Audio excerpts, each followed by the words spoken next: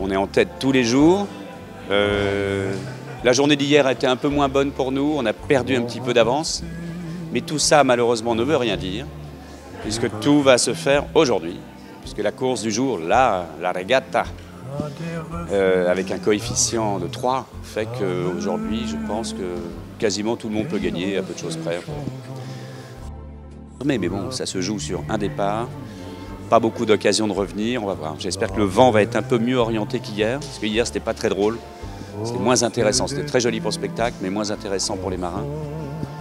Je pense que le vent sera un peu plus faible, mais un peu mieux en direction aujourd'hui.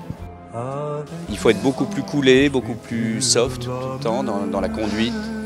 Et puis il y a les boundaries, le, terrain de jeu n'est pas très large, évidemment, on est tout le long de ce canal. Là. Et alors il faut manœuvrer sans arrêt, et ça, à chaque fois qu'on manœuvre et qu'on tourne, ça ralentit le bateau, il faut relancer, il faut être extrêmement attentif au réglage, à l'anticipation sur les autres bateaux qui arrivent. Donc euh, ça fait mal à la tête, à la testa, la testa rossa. Je pense que ce qui est intéressant surtout, c'est la symbolique de tout ce que l'on a fait jusqu'à aujourd'hui, déjà, ne serait-ce que ça. Et depuis un an, on est, comme vous le savez, l'une des plus petites équipes.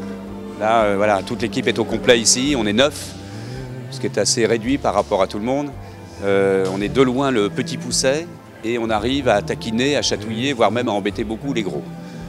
Donc c'est un peu David contre Goliath, ça c'est une bonne nouvelle. La symbolique est jolie. Euh, ça n'empêche qu'on aimerait bien grossir, mais on dit depuis le début qu'on est la petite équipe avec un grand futur.